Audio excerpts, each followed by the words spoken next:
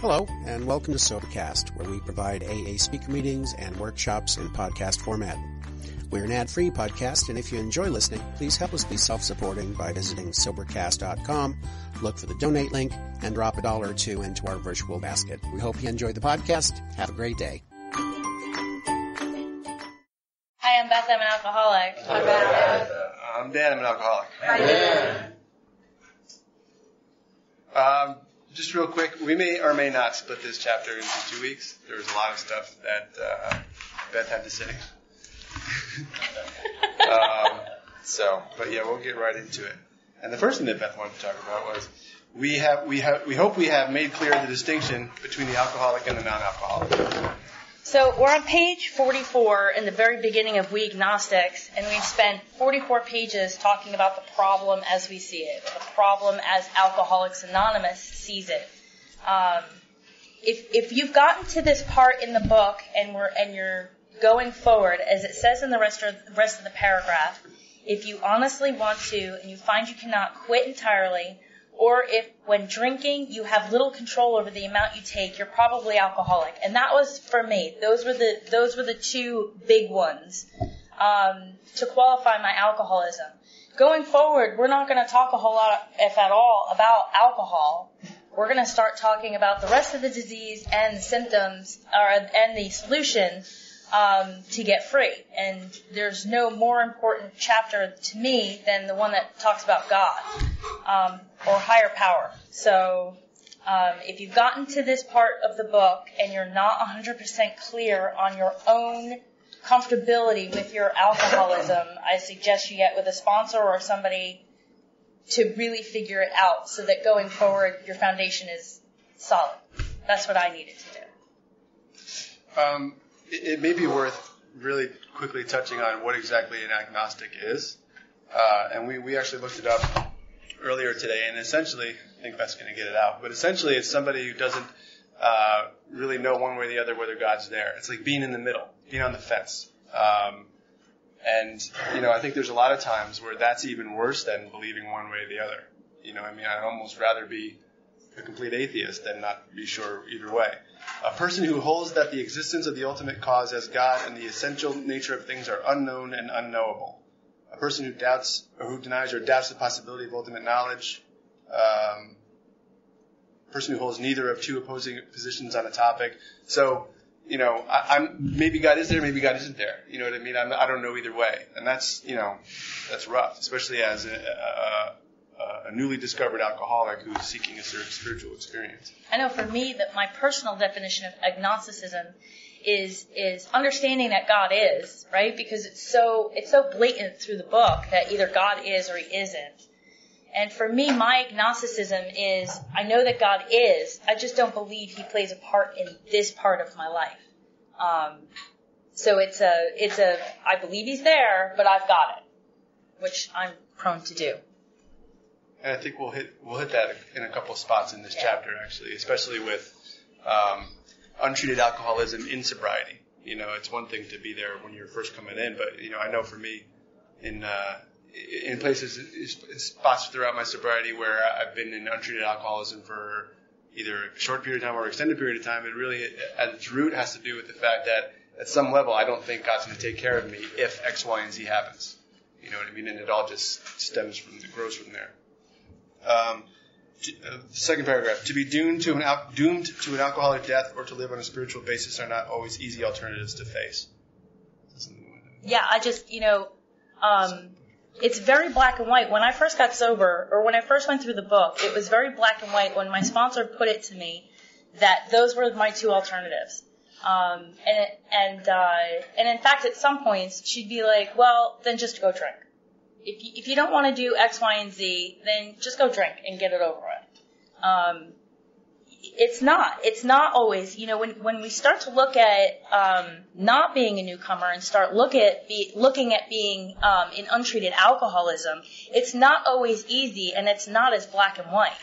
You know, I can choose God or I can choose my way, and to be completely honest, there are, things in my life where I am constantly choosing to do it my way until I paint myself into a nice little corner, and my only alternative then is to is to is to go to God.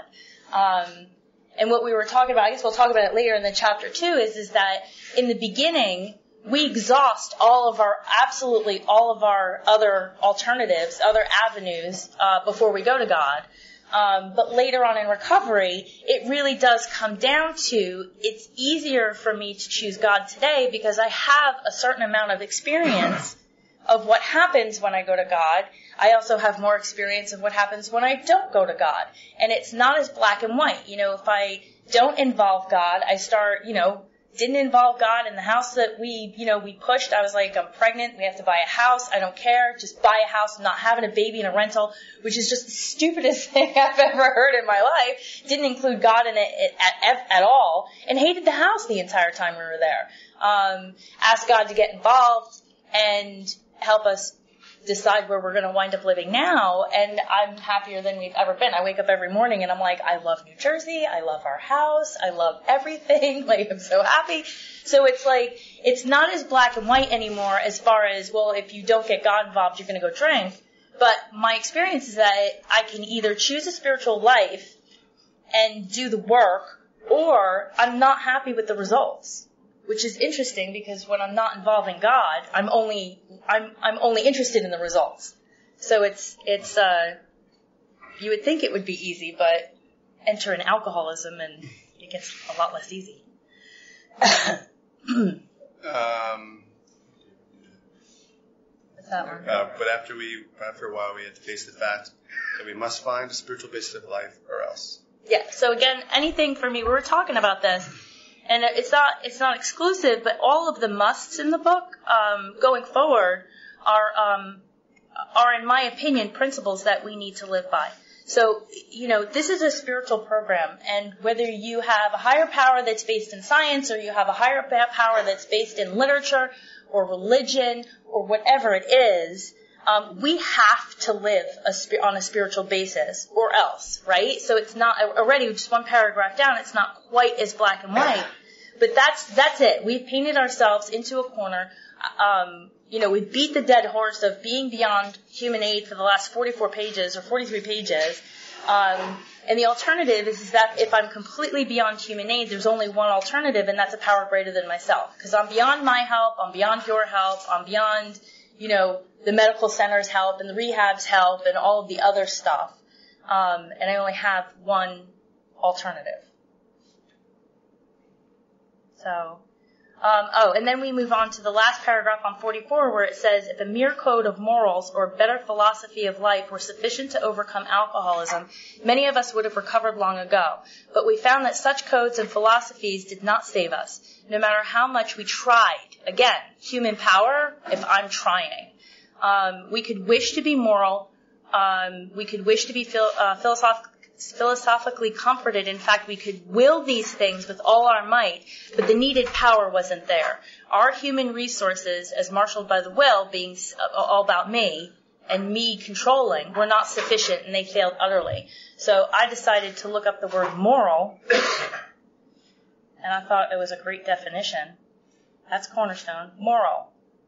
Of pertaining to or concerned with the principles or rules of right conduct or the distinction between right and wrong.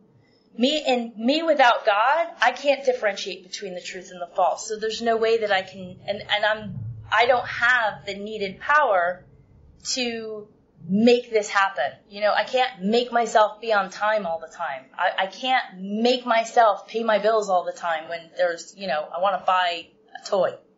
Um, th- these are the things that I need help from God with you know, it's also worth noting that the idea of this code of morals or a better philosophy, you know, I mean, the tools that we see in this book are really a better a, a code of morals or a philosophy. You know, amends, inventory, pausing when agitated, spiritual and uh, morning meditation, nightly prayer. You know, all these things are are, are things that are wonderful ideas, but with, if we don't actually put them into actual practice, they yield no results. The power isn't there. You know what I mean? So I can know this book backwards and forwards. I don't. But I could know this book back, backwards and forwards, but that doesn't make me a spiritually living alcoholic. You know what I mean? Um, in fact, I know several people who do know this book backwards and forwards and are, I, you know, seems like they're suffering from untreated alcoholism. You know, the idea that the you know the needed power wasn't there. The whole the whole point of this book, and we're gonna that's probably the next thing we're gonna cover actually. Uh, well, that's exactly what this book is about. Its main object, object is, is to enable you to find a power greater than yourself, which will which will solve your problem. You know that that that uh, power greater than ourselves. That's what we're trying to tap into through having a spiritual experience. That's what we try to avail ourselves of when we, you know, we'll see it in the next chapter, I guess.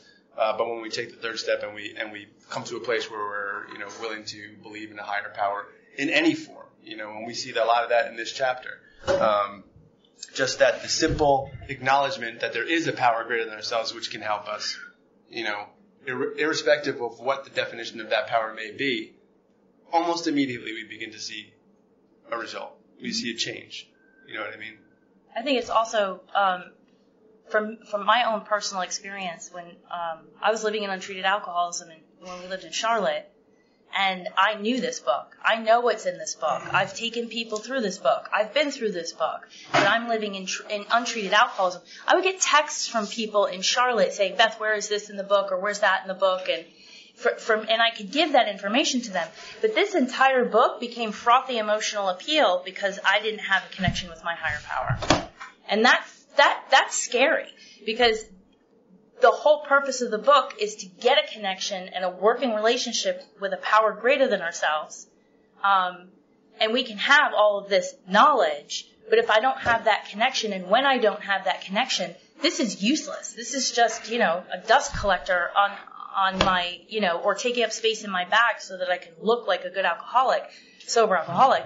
Um, you know, I've got, look at me, I've got all the highlights, I've got all the right stuff outlined.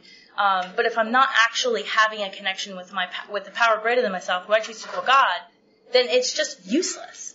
It's not the book that gets us sober. It's God that gets us sober. So. Um, and then we're going to jump down to the bottom of page 45. Um, Bill spends some time in, in the next few paragraphs talking about um, the idea of being able to put aside prejudices that we may have coming in here. Um, and in this particular line, actually, we wanted to look at it in a couple of facets. Um, to, to others, the word God brought up a particular idea of Him with which someone had tried to impress them during childhood. Um, I know for me, my own personal experience, that I grew up in a, in a not super religious, but a religious enough Jewish household. Um, and by the time I was 15, 16, completely really lost the sense of identity I may have had with the religion at some point uh, because I thought that the people that in my life that emphasized it were really overbearing. And the experience that I had, the experience that I had with it, you know, wasn't a personal experience. I was experiencing someone else's spiritual awakening. They had a very legitimate spiritual experience being a Jew. Um, and, and essentially what happened is that they were so eager to impart that experience onto me that they were trying to force me to have their experience. And it wasn't, that's not how it was for me. Um, and I, and I really disassociated with that religion for a long time. And when I came in here, you know, this was, this was a big line for me. Uh, the word God did just that. I started to immediately think about being told what I was supposed to believe and, and, and for what reason, what I was supposed to do to, to uh, express that belief or prove that belief. Um, so I had some difficulty for a while getting with the idea of a loving and and uh, benevolent. Benevolent? Did I say I said it wrong the first time, right? Yeah. Okay. That's okay. Just making sure.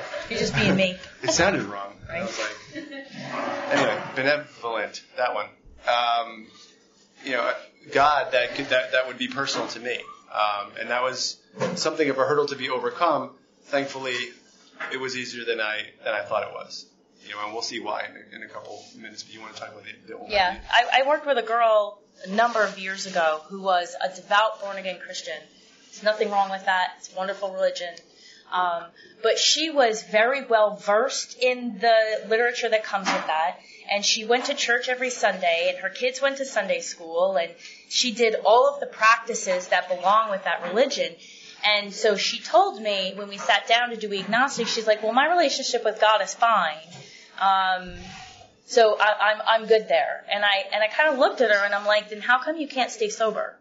And I said, "If if that if that were true, if your relationship with God was fine, then you should not have an issue being able to not pick up." Um, and so we went away on a retreat up to Skaneateles, and I told her that for the weekend that she was to do the set aside prayer, but in reference to her idea of God, um, and and her practices of God, to lay aside everything she thought she knew about that entire arena, God, religion, and the spiritual connection, and to have a new experience. Um, and she had an overwhelming weekend for her. She she began to experience God. She kept coming over to me repeatedly, like kind of just like you know I went. She went for a walk. Isn't there the Stations of the Cross up there? She did walk on the Stations of the Cross and had a fundamentally different experience than she had ever had doing that before. Um, and it was so she was able to have that personal. So it's everything that she everything that she had learned didn't get wiped away. It just got pushed aside so that she could examine it and have a new experience with it. Um, and that's what's required, right? It's a conditional program. You know, God loves us unconditionally, but this is a conditional program. It comes up numerous times in this chapter that we need this, that this is the essential core of how we get to stay sober is by allowing God to connect with us. Um, and in that first sentence, the uh, we have shared this honest doubt and prejudice. That mention of prejudice, I think, is one of seven or eight times that it gets brought up.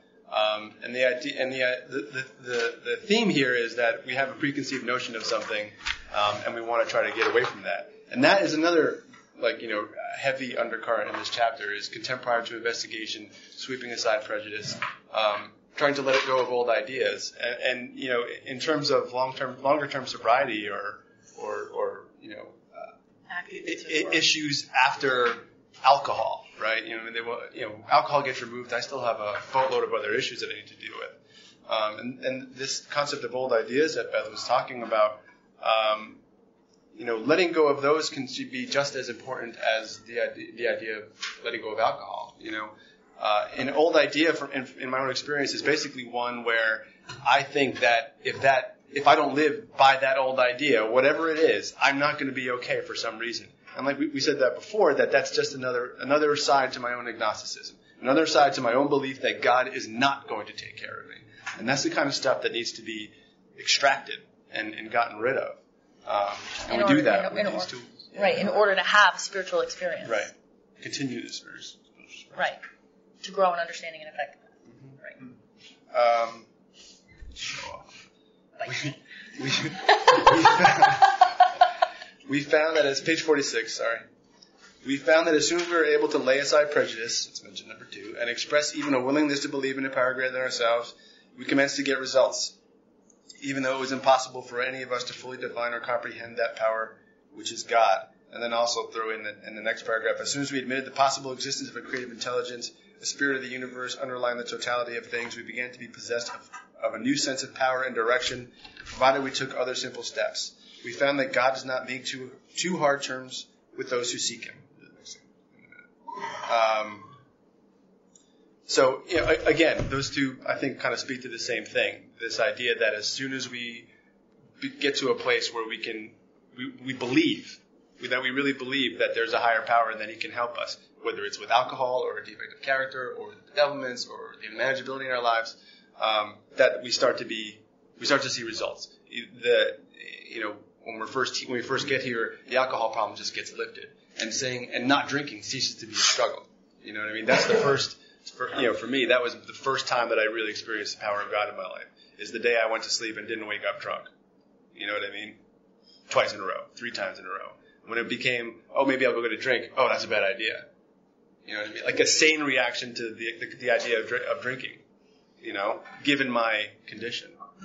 Um, and then also the idea of uh, you know a new sense of power and direction. I know that, um, and, and, this this again I think can speak to you know issues in, in sobriety and, and longer term sobriety and untreated alcoholism and old ideas. Um, you know, when I get to a place where I believe God will take care of me in whatever issue I'm doing, I do begin to be possessed of a new sense of power and direction. And the more, I, the longer, the longer I stay sober, and the more I have those kind of life issues, the more direction becomes important. A new sense of direction, where I begin to have an intuition about the way a situation should be handled. I'm not freaking out and calling my sponsor and going, oh my God, what do I do? You know what I mean? Um, the idea where given almost any set of circumstances, I can, I can with a sense of peace and comfort confront the situation and move through it and get past it and move on. You know, and there are times when I don't have that, and when I again get to a place where I'm where I believe that God is the answer, God is everything, you know, then that sense of direction comes back. You know, I have that personally. I have that kind of situation all the time at work. You know, somebody yells at me for something something ridiculous like that. Anything really. It's usually work related. But I kind of think to myself, I don't know what the hell I'm supposed to do. And those are the times where I pause. I'm agitated, and I think, you know, why? What am I agnostic? What am I? Where? Why do I think that I won't be okay if X, Y, and Z happens? And I go, I will be okay. You know, and all of a sudden, I, I know what I should do. Even if I don't know the whole course, I know the next step that I can take. I think that um, I, I've sat with a, a lot of women who, when we start talking about this part of the book, they the fear wells up inside of them, and it was the same for me. Um, where I feel like if I really lay it out on the table, that God will judge me, or God's not going to forgive me, or God is going to be mad at me. And what was told to me, and what I tell to the girls that I work with, is is that we're we put human emotions and human reactions onto God, and God's not human. And that was that was mind blowing for me. That that was completely mind blowing for me because I I was so afraid to make that initial contact and to make that initial connection where there would be a, a give and take between me and my higher power because then he would see all of me and be like, oh, this this chick's done. Just get rid of her. And uh, and for you know for me it was it's important for me to become willing to set aside that old idea that God has human emotions because God's not human. Um, and then further down where it says, um, we began to be possessed of a new sense of power and direction, provided we took other simple steps.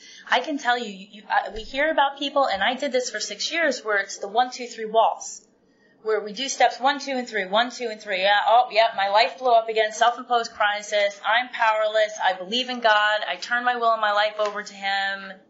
And then I take it back, and then we have a self self-imposed crisis, and I've made a mess of things, and oh right, God, and um, this is this is letting us know that we need to keep moving forward, that we need to finish the entire process for me, I kept, and I shared this last week or the week before, where I always felt like I was starting over. I always felt that I would get to a certain part, I'd blow everything up, wreckage, wreckage, wreckage. Oh yeah, I'm powerless. Oh right, God. Oh yeah, turn my will and my life over. Okay, start over. And ever since I finished the first, since the first time that I finished going through the work, I guess I finished somewhere around seven years at the end of seven years sober. I, I've never felt like I'm starting over anymore by actually finishing the work. And so it lets us know, again, it's a conditional program. We get the freedom and we get the full spiritual experience by continuing to the next step. I mean, I know we're not there yet, but it, when we get to inventory, it says next we launched. So it's like this, this constant movement forward of doing the next thing that is in front of us. So. Um, and then the the last sentence of that last paragraph, or the second to last sentence, really, to us, the realm of the of spirit is broad, roomy, all inclusive, never exclusive or forbidding to those who earnestly seek. Um, and we were talking about this, and it, I think there's actually two ways you can interpret that sentence. I think there's one that's, I think, the more automatic way. It certainly is for me. Um, that if you seek God, the, the, realm of the spirit will be broad, roomy, and inclusive, never forbidding. It won't be scary. If you if you are the seeker. The other way that to, to interpret it, and this speaks to what Beth was talking about, I think last time or maybe the time before, I don't remember really, I'm sorry, but that as a seeker, I ought not be exclusive or forbidding to anybody else, regardless of their level of seeking. Um, you know, that everybody is already on this highway with me, and it's, you know, my responsibility to let, you know, let them be there without passing judgment on them, you know uh, it's really none of my business what their what level of relationship they have with the higher power or what their higher power is. You know, I can I can just just as quickly turn around and say, you know, well, God either is or he isn't. He's everything or he's nothing. If he's everything, why do I doubt where other people are? You know, it's really none of my business. No, I just I love that um, never exclusive or forbidding to those who earnestly seek. Uh, for me, earnestly seeking can sometimes be laborious and I have to go and do inventory or I have to do something. But most of the time, and I'm thinking like 95% of the time, earnestly seeking for me means get doing my utmost to be in the moment right here, right now. You know, I, I operate under the understanding that God doesn't exist anywhere in the future or anywhere in the past. He only exists right here, right now, in this moment. And so for me, most of the time, it's earnestly seeking to be in the moment with my eyes open, looking for God. That's all it requires. You know, when we first moved here, um, you know, moving sucks.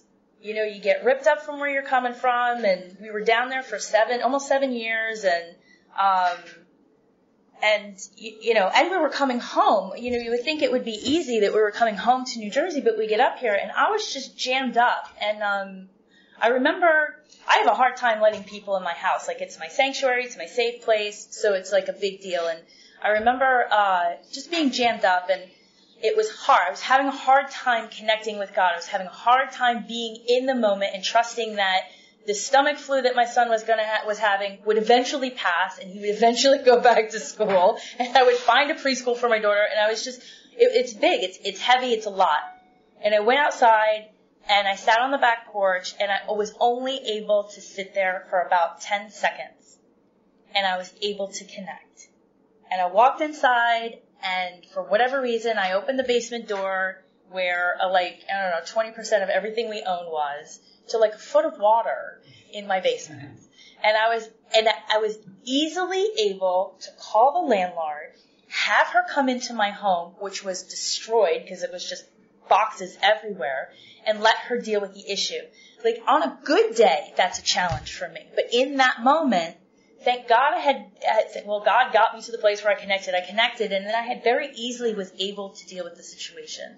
So when they say that this stuff's going to solve all of their problems, like uh, that's my experience. Having an open connection with my God has has has sol- solved all of my my problems. So earnestly seeking is Cool. it's yeah. There's a range there. Yeah, right. What's the word I'm looking for? I don't know. Sorry. I should go to college. Uh, on page 47, do not let any prejudice you may have against spiritual terms deter you from honestly asking yourself what they mean to you. And again, that's that idea of contempt prior to investigation. You know, it says it somewhere else. Be be quick to to, to learn from some from from anyone really. Anybody speaking in spiritual terms. You know, if you want to talk about that, you had. you Well, it's, again, it relates back to that sponsee where she needed to push everything aside, and and I get the same way. You know, the I don't know any other way to comprehend co- comprehend the power that is God other than to put him in a box, right? A nice, neat, human-sized box that I can wrap my little human brain around. The box that he was in when I got sober is not the box that I put him in now. The box is is is a million times bigger now. But if I were to say, "Oh, my God's not in a box," and and you know, I understand God, that would be my pride, and that would think, right? So He's infinite, I'm finite. He's He's everything. I'm just this little speck. So for me, the box is box has gotten bigger. But every single time I go through anything, or random Tuesday afternoon, uh, you know, something comes up where I'm challenged in my idea about what I think God is or is not, or what He does or does not do, is challenged. And I can either continue to live by the idea that I'm currently working under and God can stay the same size, or the box can stay the same size, or I can live, start living by the new idea that's being presented to me and allow that box to get bigger and my understanding to get more broad. That's my, that's how my experience is.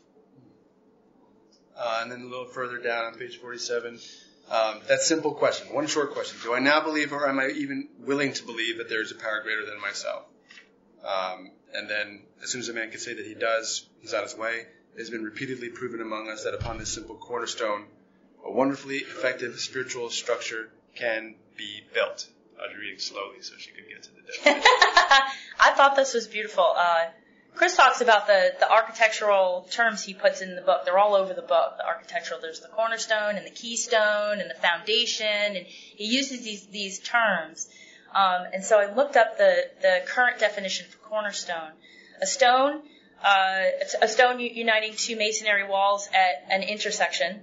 Um, a stone uh, representing the nominal starting place in the construction of a monumental building, usually carved with the date and laid with appropriate ceremonies. Something that is essential, indispensable, or basic, the cornerstone. Um, and that gives me chills. That's how important this is. When we talk about a building, a structure, it's so important that that's where they put the date that this started. Um, and I think honestly, if, if I know, okay, so I know honestly for myself that the first time that I connected with God was the day that I got sober. Did I know I connected with God? No clue. Did I know that this was going to be a limitless load of awesomeness? No idea. But that's my sobriety day, and we do the exact same thing. We we we literally celebrate that date. Sometimes we celebrate it every year. Sometimes we celebrate it every five years. Whatever. But that date is so important to us. It's the cornerstone. It's the, it's the connection between, the first connection between me and my power greater than myself, just enough to get me not drinking. So I thought that was awesome. That is awesome.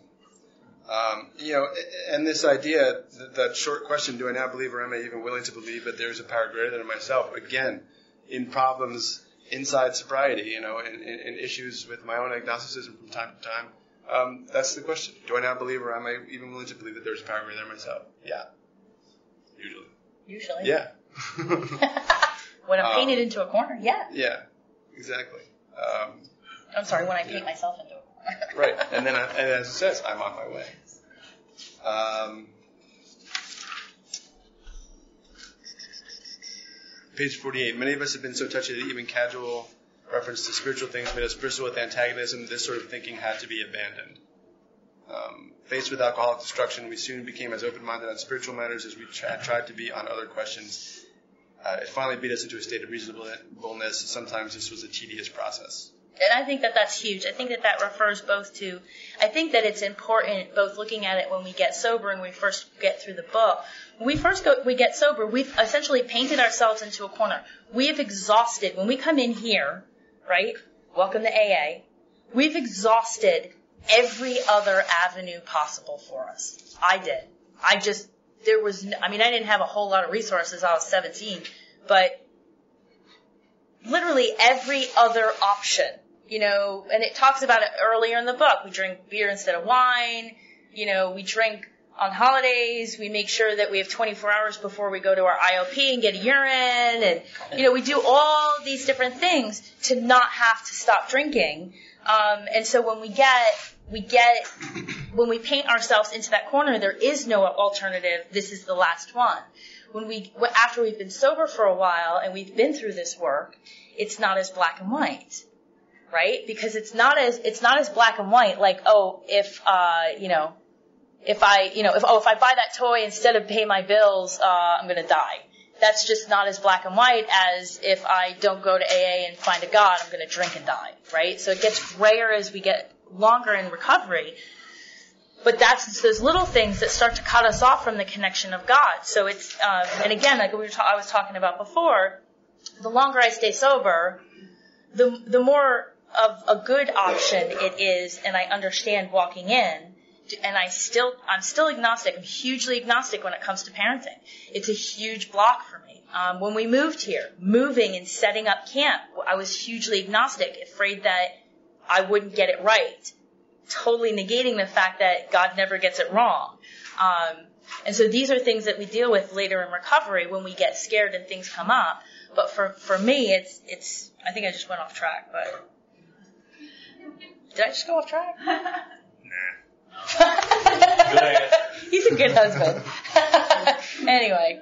Okay. Good. Well, the other thing that I think I'm going to pick up the track that she was trying to get back to was um, sometimes this was a tedious process. Oh, right. Um, there you go.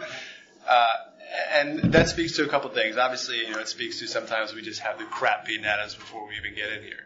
You know, I think, and again, going back to untreated alcoholism and, and in sobriety, you know, sometimes that can be a tedious process too. Sometimes that untreated alcoholism takes longer to see. You know, um, I was telling somebody a couple weeks ago, like the longer I stay sober, the longer the window where I go without living spiritually can that that, that window gets longer and longer where I can live in untreated alcoholism without feeling um, in danger of a drink.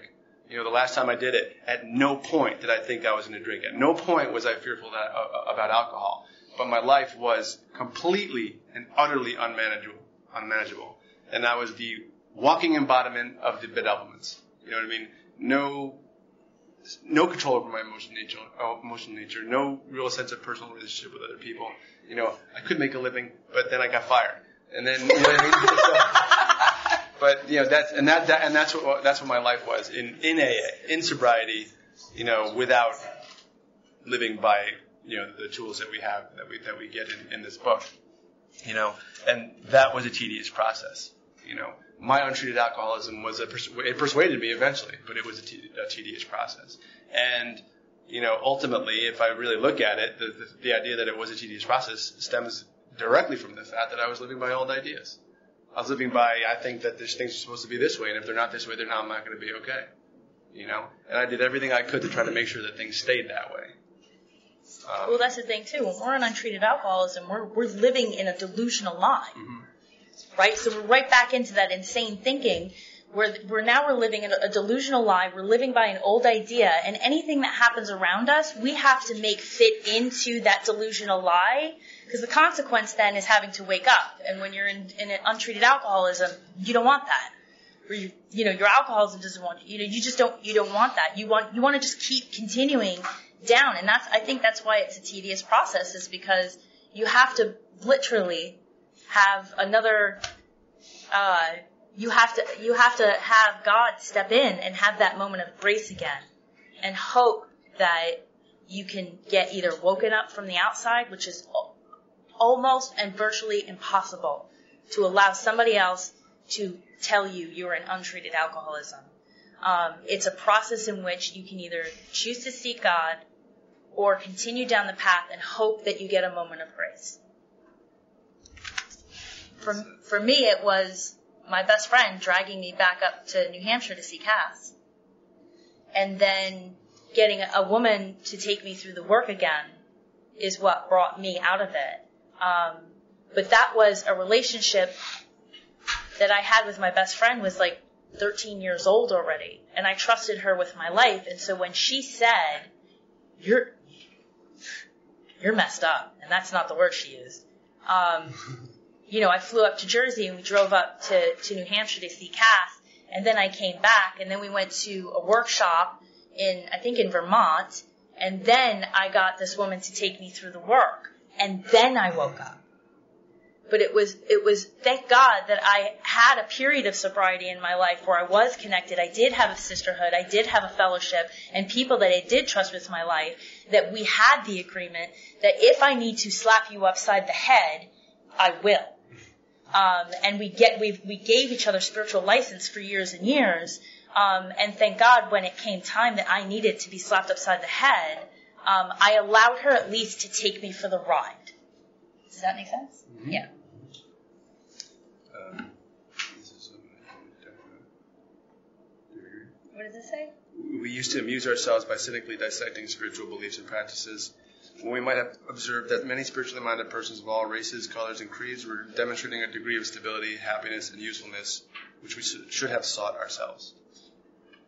Yeah, that just makes me sad because this is what we do in Alcoholics Anonymous. We do it outside of Alcoholics Anonymous. We do it inside of Alcoholics Anonymous. We judge people.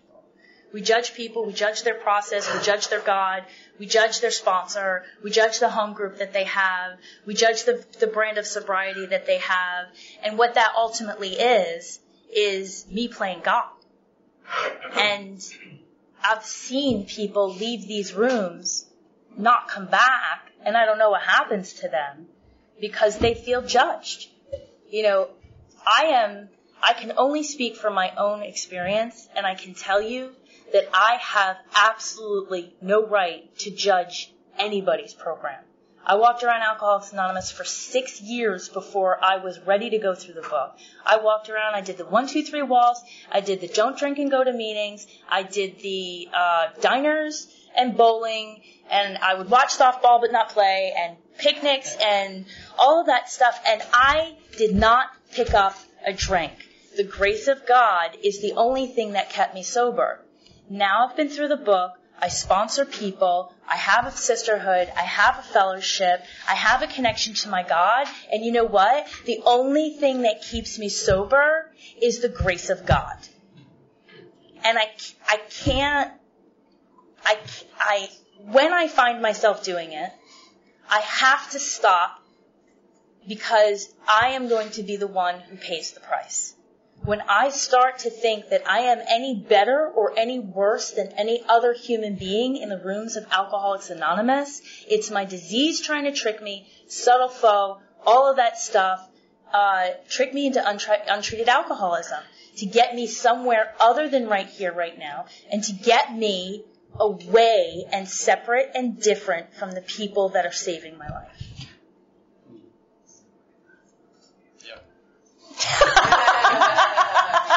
I was just I was just thinking that's um, you know I've had that experience and that's that's effectively what happened to me. You know, I I went down to North Carolina thinking that North Carolina is never going to be like New Jersey. It's and it, not. and it wasn't. Thank You know God. what I mean? And I made sure that I pointed that, that that out to myself every opportunity because you know there's no way that I could really you know live a sober lifestyle by those standards. So why even bother? You know what I mean? And there I was three whatever years later living on untreated alcoholism. Well, I think it's- happened just the way she said it. I think it's fair to say that it, you know, because this this alcoholism thing, it doesn't just relate to my life in AA. It relates to my life. You know, my best friend asked me 48 hours ago. She said to me, "Would you have ever moved to Westfield if you didn't live in Charlotte for six and a half years?" And it stopped me dead in my tracks. And I said, "No, absolutely not." It took us two years to acclimate down there, but the, but once I started to embrace Charlotte, North Carolina for being Charlotte, North Carolina and not being different from New Jersey, I got so many facets inside of myself changed in so many ways that I have become a different person. And I choose to live in this town partially in large part because I learned how to be a part of a community down there, which was not something I learned ever in New Jersey. Um, and so, you know, it's that, yeah, did I explain that? Yeah, right? So, yeah, I wouldn't be the person I am today had I not seen where the Southerners were way better than we were. Way better at a lot of stuff. And I spent a lot in there. I, I'm very, I love looking at the differences. Like, I, I wish I could just go study culture for the rest of my life. Um, but there, there are things that we're better at, and there's a lot of things that they're better at. And by learning how to be like them, I get to carry out God's will for me in a much more full way. um, going on to the bottom of page 50. Um, they flatly declare that since they have come to believe in a power greater than, than themselves, to take a certain attitude toward that power, and to do certain simple things, there has been a revolutionary change in their way of living and thinking. In the face of collapse and despair, in the face of total failure of their human resources, they found that a new power, peace, happiness, and sense of, direction flowed into them. This happened soon after they wholeheartedly met a few simple requirements. Um, you know, that's we wrote down here principle and promise. You know, I mean, that's that's that's. I don't know how, how how better to promise what can happen as soon as you start to, you know, get on that journey with a higher power. As soon as you start to get towards that level of belief that that, that there is a higher power, or or willing to believe it. Um, you know, we we talked a minute ago about this sense of direction, but of the, uh, the the revolutionary change in, the, in their in their way of living and thinking. You know, um, my my approach to life has fundamentally and completely changed as a result of having a spiritual awakening. Um, as a result of taking like going through the steps and and, and, and and doing all these simple requirements. You know what I mean? Simple conceptually, pain in the ass, practically speaking. Um, but um, you know, and and it's every now and again the, the, the difference in, in my life now to my life before I had these these awakenings is so stark um, that I cannot believe myself that I'm the same person. Um, never mind what everybody else thinks. It's always nice to say, "Hey, you seem so different. You seem so so content. That's great." You know, you know. But the the thing for me is that um, I see it in my own life. You know what I mean? I see the effects of the power of God. I see the aftermath. You know, we were talking about it before, and I may be bringing it up prematurely here, but we were talking about it before. Somebody somebody asked Beth where it was like the question was, you know, if someone gave you indisputable proof that God didn't exist, would you still believe in God? You know, the the proof of God for me is not external. You know what I mean? The proof of God in my life is my life.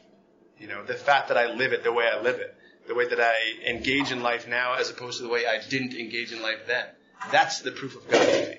You know what I mean? I got to a place early in sobriety and again over and over and throughout sobriety as I as I as I got imperfect, um, where I became willing to believe in a power greater than myself, and that belief, that that simple beginning, led to growth, the, the likes of which I would never have even thought about, let alone actually done. Um, so. It's not the same guy I married. Sorry. No, I'm glad. I'd divorced that guy. um, no judgment. No judgment. So I just I want to jump a little bit because here it says um, they found that new power, peace, happiness, and sense of direction flowed into them. For me, when I'm not feeling those things, I need to go directly to page 52 um, and look at the bedevilments. The bedevilments is one of the best uh, diagnostic tools. Did I say that correctly? Um, for me, in the big book. Um, and what what I what I do and what I have the girls that I work with do is um, where is it? Where, why can't I? I look right at them and I don't see them. Denial. It's good. You're so spiritual. I'm so spiritual. Um, so I need to ask myself, and what we do is we put each bedevilment on the top of a page, and then every night for five or ten minutes, we look at them and we write we write about them. Um, and it starts with uh, where am I having uh, trouble with personal relationships? Where can I not control my, my emotional nature? Where am I prey to misery and depression? Um, how do I feel I'm not making a good living? Um, where do I feel, when and where do I feel useless? When am I full of fear? When am I unhappy? Um, and where can I not be of any help to other people? Um, because the promise here is is that when we have a connection with our God, that we we feel we, that we have a new power, peace, happiness, and sense of direction inside of us. That no matter what happens around us, this is how we react to life with these attitudes. If I'm not reacting to life with these attitudes, I need to use this diagnostic tool to figure out what's going on and then go to inventory. Did I just jump around too much? No. All right. Um, I don't know what even what I want to do next. I guess again, you know, on page 52, right before the bedevilments, you know, it says, "Is not our age characterized by the ease with which we discard old ideas for new, uh, by the complete readiness with which we throw away the theory or gadget which does not work for something new which does?" You know, I wasn't. Yeah, that is uh, that that is essentially you know me finding out that something in my life isn't working and trying to get to a place where I realize that it doesn't work and try something new. You know, I mean, it's it's it's it's as it really is as simple as that. Um, I, I've been trying to think of an example for since we started talking and. Yeah, nothing's um, going on. Old ideas come up all the time, though. You, you want to you want to find out what kind of old ideas you're living by? Have children. They will ask you why you do everything. everything. Mommy, why do you drink coffee every morning? Or, mommy, do you know how to make coffee? Because Dan makes my coffee in the morning. I actually, I actually have an old idea. Actually, so we have a five-year-old, mouthy, very attitudey daughter. Um, you know, and there's and there there's a, there's a certain level of, of of me as a parent that wants to try to put you know keep the attitude to a minimum so she doesn't you know die, run riot over us, and get Um, killed. You know, but there's also a certain amount of, of, of parent in me that wants to um, not encourage it, but at least not completely squash it because that's part of who she is as a person, you know. Um, and and at, with her as a daughter, I've gotten into um, a lot more feminist reading, and it's changed the way I see I see the world. Um, you know, even even with my own even with my own thoughts, um, stupid things like you know things that I never would have even thought of it, but just just just just clue me into the way that I at a conscious or unconscious level think about certain things. You know what I mean? And and being awakened to those things and, and seeing that they don't work. Now it's on me to go to a place where I look at that, appreciate it for what it is, make the changes I need to make, and, and, and move forward as hopefully a better person. You know what I mean? Or at least a more effective father. And I think also in the last couple of years, our whole culture has been challenging what we think of certain things. You know, I mean, I know this is going to sound off base, but it's not. I saw this uh, video of the narrator asking a whole bunch of girls of different ages to t- show me what it's like to throw like a girl. And every single one of them threw like a little whip. You know, oh, you throw like a girl. And then they went into this whole explanation of, you know, what does it really mean to throw like a girl? Right? Because I can tell you, when it comes to, is that Dorsha? When, when it comes to athletics, my daughter puts my poor son to shame. you know what I mean? So if you were to ask my five year old, how do you throw like a girl? She would throw like a rock star. So it's like, it's challenging these old ideas. What do I think of women in society? What do I think of religion in my life? What do I think of stay at home moms? What do I think of you know, career people who, who spend their whole life making money? What do I think of people who give up their lives and do Doctors Without Borders? Like these kind of things, it, although it seems beyond the scope of what we're talking about in Alcoholics Anonymous, it's not. Because this is about our life. We get connected with our God. The old idea comes up. We challenge it and we get to live the life we choose to live instead of it being dicta- dictated by parameters of our alcoholic life. You know, it says in the early, early on in the book that our alcoholic life seem the only normal ones. But it's not just the alcohol. It's how we respond to relationships. It's the jobs we choose. It's the cars we drive. It's the towns we live in. It's the people we spend our time with. It's how we treat our parents and how we treat our kids. It's how we respond. It's whether we pay our bills or we don't pay our bills. These are all the different things that we learned when we were drinking and now need to be challenged now that we're sober. God brings these things, right? I can, I, I get that connection with God and God's going to bring each one of these issues up for me to make a decision about a current idea of whether I'm going to choose to continue to live by this idea and it's a rule in my life or I'm going to discard it for something else. Hmm. Yeah, I mean, the other thing to think about is also that, you know, when we think about what are we supposed to do, we're supposed to grow in understanding and effectiveness. We're supposed to fit ourselves to be of maximum usefulness to God and others. You know, I don't actually, I'm the last person that knows how I'm supposed to do that. You know what I mean? So when these things come up, these old ideas come up and I see them, it's on me to change them so I can fit myself to be of maximum usefulness to others. I don't know how that change is going to lead to that. All I know is that that change is going to lead to that. Uh, and, and, and, I better do what I need to do to, to make that happen. Um, I can also tell you that when God has brought old ideas to the surface for me, and I've been too afraid to challenge them, they start to wreak havoc in my life. Which is a surefire way for me to step even further away from God because now I've just stepped into a delusional lie of not right. My, my sponsor told me when you take the third step, your life is no longer any of your business. And so you're not allowed to lie anymore. Because if God brought you to it, He'll bring you through it kind of thing. And so there's no need to ever lie or make up something that's not real because if God brought you to a situation and you were blatantly asked a question, you tell the truth, understanding that God will take you to better places. I forgot where I was going. Wow, I'm really not here today. um, so we'll reel us back in right now. And on page 53, it says, um, I'm sorry. When we became alcoholics, crushed by a self-imposed crisis we could not postpone or evade, we had to fearlessly face the proposition that either God is everything or he, or he is nothing. God either is or he isn't. What was our choice to be? You know, what is your choice to be? When I got to a place when I was beaten into a state of reasonableness and got, and it was like time to say, God either is or he isn't, what was my choice to be? You know, had I said, he isn't, I'm probably not as reasonable as I think I am. Um, you know, and the same thing goes for problems in sobriety and, and, and, and living in maybe certain degrees of, of, of untreated alcoholism or just trying to get past an old idea.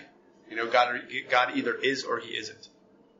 You know, what is my job? Stupid things. I have to give notice so I can go to a new job. I'm worried about what they're going to do. Why? You know what? If, and they, uh, you know, basically, I'm, I'm an independent contractor, and I'm worried that they're going to tell me to get out. You know, I, I got to give my notice. Leave. Okay. And then I'll be out of work for two weeks until my next job starts, and that terrifies me because I have a lot of money. But why am I so worried about that? You know, wh- why do I think I won't be okay if I don't work for those two weeks? Personally, I think two weeks ought to be fucking awesome. but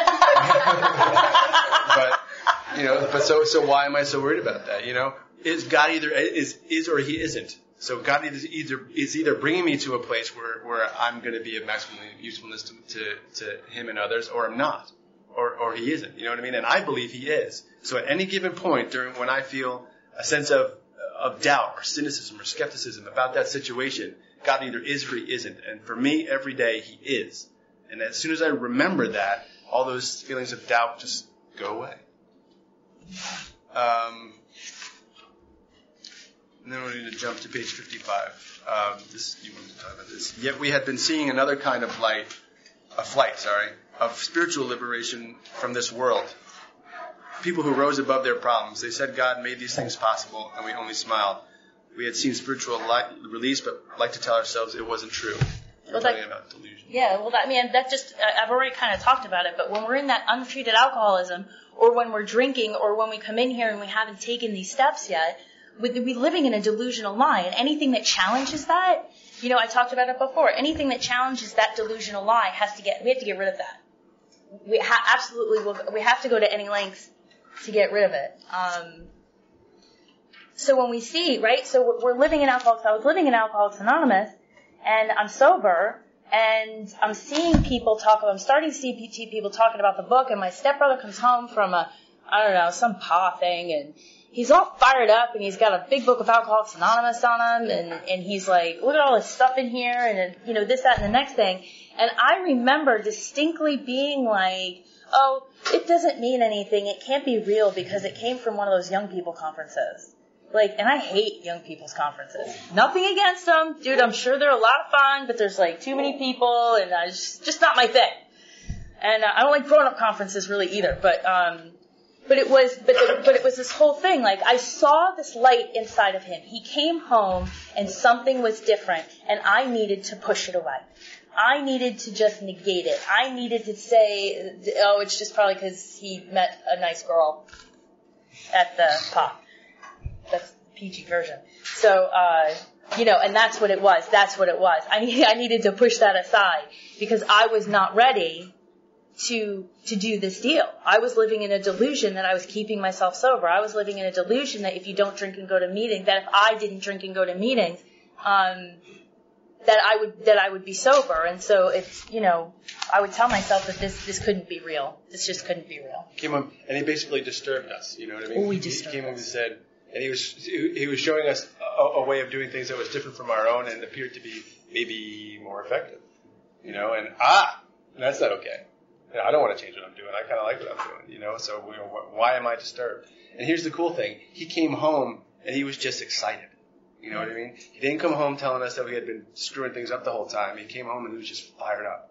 He's talking about, you know, whatever speaker he had heard or whatever group he had heard, and he was just fired up. You know what I mean? And, and and it was on me to either go get offended or you know I talked about that briefly on you know, whatever page 51 with you know Columbus and Galileo. And you know am I going to be those people that hit their contemporaries and just and just sit there and tell them why that's not true? You know why am I disturbed? Why do I feel so defensive about it? Um, oh and then uh, I think uh, the last thing that I want to talk about maybe that, that's something else she wants to say. Nope um, but we were talking about earlier about the realm of the spirit and the and uh, is roomy and all inclusive.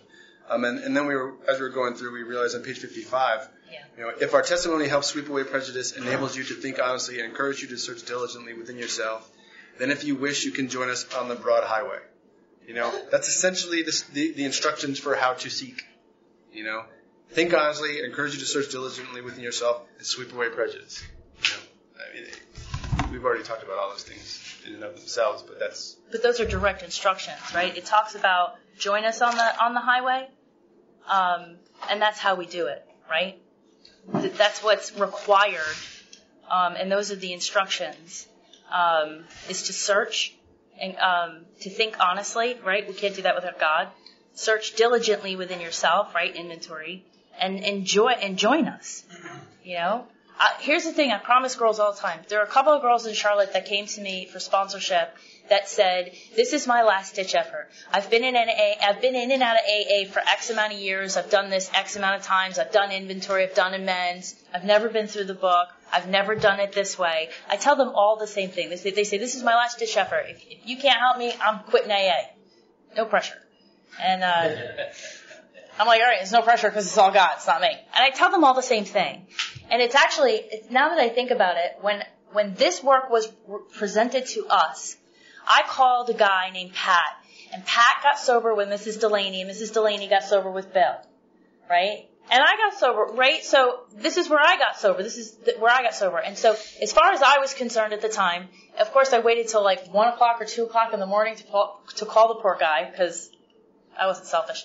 And um, I called him and I said, Pat, they're telling us we're not sober. They're telling us that we're not doing AA. They're telling us that that this that the instructions are in this book. I'm not hearing this. Why have I never heard? Why you know? And I'm asking him all these questions. And he said to me, what I say to this, the girls that I sponsored in Charlotte, or girls that are this is their last ditch effort. Try it.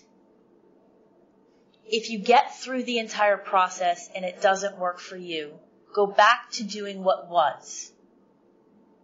And that statement immediately wiped away every bit of fear. I was under the impression that if I, that if I, I was under the, the delusion that if I decided to admit myself into this process, that whatever I was doing that was, that I thought I was keeping myself sober would be completely washed away and erased from my memory. And I would be lost and alone out in the world with all those bars and liquor stores. I mean, that's literally the delusional lie that I was telling myself out of fear of doing this process. And so that's what I tell the girls. I say, do it. Do the whole thing. Don't get, don't skimp on anything. And if it, if, if you're not 10 million times happier and more useful than you were before the process, you can go back to doing what you were doing.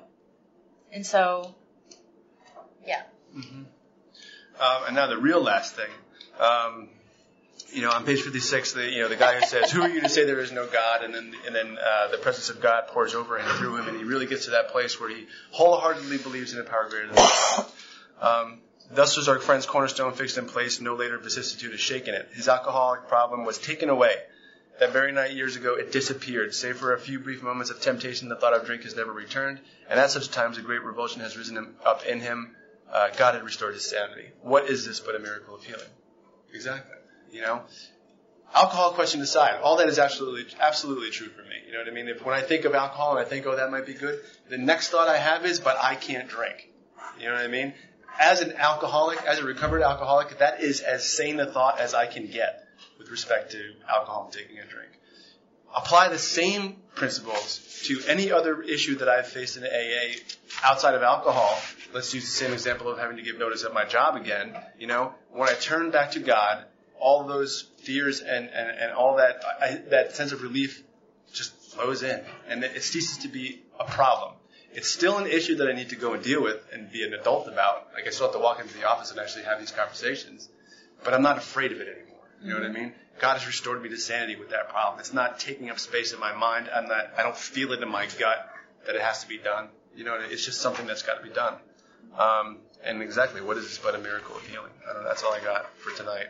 Well, for me, I just wanted to also say it's like, you know, it's real easy to read this book by yourself or with a sponsor and blow by that line that says, "Who are you to say you, there is no God?" We all kind of schluff and laugh. But for those of us that are in serious agnosticism, um, need to sit with that statement and figure it ex- exactly why I don't think that God is there.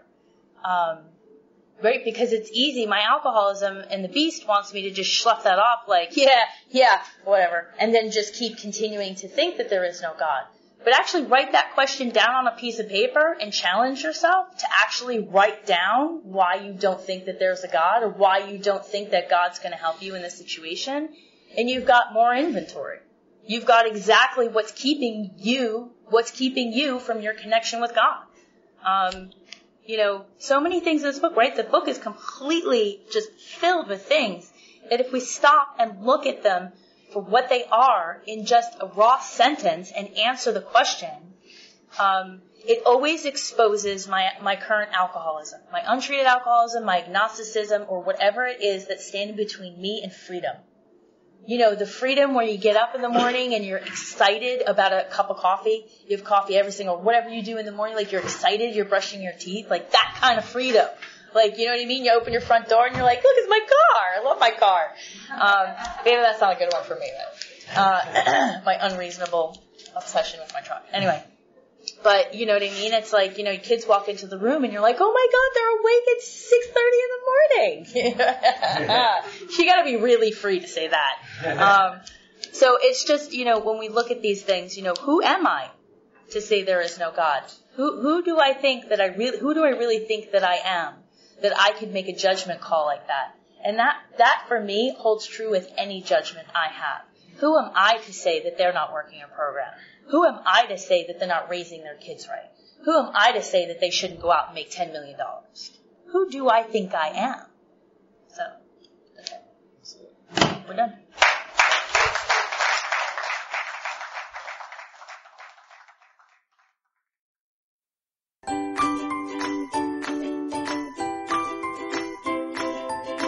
Thanks for listening. I hope you enjoyed the podcast. Sobercast is ad free, and we'd like your help in order to keep it that way. So if you'd like to help us be self supporting by pledging a dollar to a month, visit Sobercast.com and look for the donate links. Thank you very much.